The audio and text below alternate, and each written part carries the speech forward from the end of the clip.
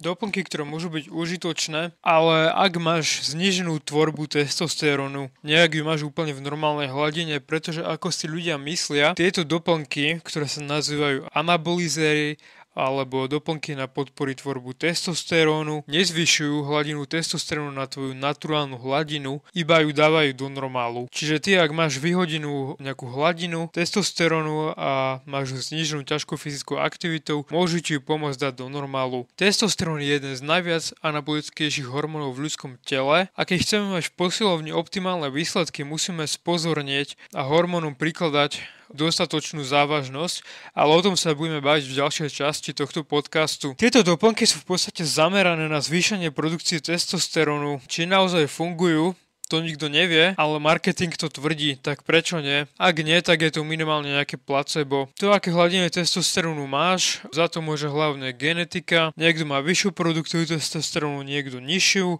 a je to ovplyvnené XY faktormi, nie len tým, aké doplnky žerieš. Napríklad tým, ako sa stravuješ, tým, ako trénuješ, tým, koľko máš tuku, tým, ako máš fyzickú záťaž a tak ďalej a tak ďalej. Najpoužívanejší z týchto doplnkov je Tribulus terrestris. Tribulus terrestris je silný extrakt z rastlín nazývaný Triburus terrestris alebo bindy, ktorá sa používala už v starovekej Číne, Číne Indii a Mezopotámii. Používala sa na zvýšenie plodnosti, omladenie organizmu a používa sa dodnes aj v medicíne na široké spektrum účinkov. Obsahuje až 95% saponinov, účinnou látku je Tribulus a je vhodný pre ľudí na zvýšenie sily, podporu rastu svalov a tak ďalej. Tribulus je dobrým stimulantom pre fyzickú kondíciu, zvýšenú silu, vytrvalosť, regeneráciu stimuláciu svalov, pričom aj pomáha pri sexuálnej aktivite. Toto hovorí marketing, v skutočnosti či to naozaj niečo robí, nikto nevie, ale v skutočnosti pomáha pečení, obličkám, znižuje hladinu cukru v krvi a pomáha telu sa vyčisťovať a detoxikovať. Ďalší populárny doplnok je Egdisteron. Je veľmi zácný, pretože som ho ešte neskúšal a to som skúšal už, už skoro úplne všetko. Marketing hovorí niečo asi takéto. Egdisteron je extrakt zbierený leváza, ktorá obsahuje až 90% účinné látky Egdisteron, čo je egdisteroid. Egdisteroidy majú podobnú štruktúru ako androgény a sú preto obľúbené obľúbené medzi športovcami ako náhrada steroidov a ako doplnka a ako doplnky na zlepšenie športového výkonu a rastu svalov. Potenciálne účinky na zdravie a kondícii sa stali predmetom mnohých výskumov, zatiaľ bez výsledkov. No pokojne ho skúste, podľa mňa je to úplná somarina, ale ak je to legálne, znamená, že, je to, že to nie je nebezpečné. GABA je to silné nootropikum. Táto látka zlepšuje koncentráciu a uľahčuje učenie, zlepšuje pamäť. Je to kyselina gamma amino, amino maslo slova, ktorá zlepšuje spánkový cyklus, zlepšuje kvalitu spánku, stimuluje produkciu rastového hormónu, znižuje vyčerpanie a únavu, zvyšuje hladinu energie počas celého dňa, podporuje metabolizmus, odburovanie tukov, ako aj rast a regeneráciu svalov. Okrem toho tu priaznivo ovplyvňuje nervový systém a má uvoľňujúce účinky. Keď som to používal, necítil som absolútne žiadny efekt. Takže si z toho vyvod záver sám. HMB. Štúdie, štúdie HMB s rôznymi zdravotnými výhodami, ako je napríklad zlepšenie, znižené straty svalovej hmoty, teploty, lepšie zotavenie cvičenia a, a tak ďalej. Môže zvýšiť rast svalov u netrenovaných jedincov alebo u starších ľudí. Maca je tu vysoko vyživný doplnok, môže zvýšiť libido u mužov a žien, môže zvýšiť plodnosť u mužov, môže pomôcť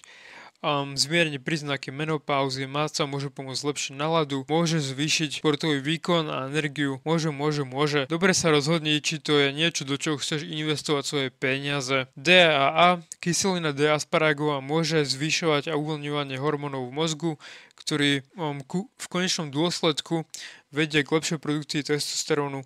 Svoju úlohu zohráva aj na zvýšenie produkcie a uvoľňovanie testosterónu v semeníkoch. Inozín vyrába sa v ľudskom tele a jeho chemická štruktúra súvisí s adenozínom, ktorý je súčasťou adenozín trifosfátu, ktorý je zdroj energie počas práce vykonávanej každým svalom. Tento produkt je obľúbený pri športovcoch, ktorí sa zamerávajú na vytrvalostné, ale aj silové športy. Takže ak si chceš vybrať nejaký z týchto doplnkov, podľa mňa sú najefektívnejšie a najlepšie využité peniaze Tribulus, pretože aj keď ti to nepomôže možno zvýšiť produkciu testosterónu, má to, má to mnohé pozitívne vedľajšie účinky, um, či už na čistenie organizmu alebo znižovanie krvného cukru. Takisto DAA je to jeden z, doplnk, z mála doplnkov v tejto oblasti, ktorý je preukázaný, že naozaj funguje V súčasnosti sa objavil ešte jeden doplnok, ktorý by sa dal zariadiť medzi anabolizery a nazýva sa Turkesterón. Tento doplnok som ešte neskúšal, ale mnohí si ho pochvaľujú, majú z toho výsledky a podporujú to ľudia ako Jeff Nippard alebo Greg Doucet